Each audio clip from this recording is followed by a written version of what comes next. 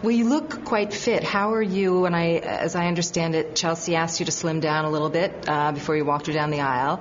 But with your travel to Haiti, with CGI coming up, with being on the campaign trail, have you been able to manage to keep those eating yeah, habits healthy? My travel schedule is cut back on my exercise some, which is frustrating to me. But I, I follow a pretty strict diet, and I try to, you know, limit how much I eat and what I eat, and it's I lost 20 pounds or so.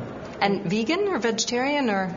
Yeah, pretty much. I once in a while I'll eat fish, but not often because I'm trying to be one of those experimenters. Since 1986, several hundred people who have tried essentially a plant-based diet, not ingesting any cholesterol from any source, have seen their bodies start to heal themselves, break up the arterial blockage, break up the calcium deposits around the heart 82% of the people who've done this have had that result. So I want to see if I can be one of them. I've got to do it a few more months before we'll have any idea if it worked.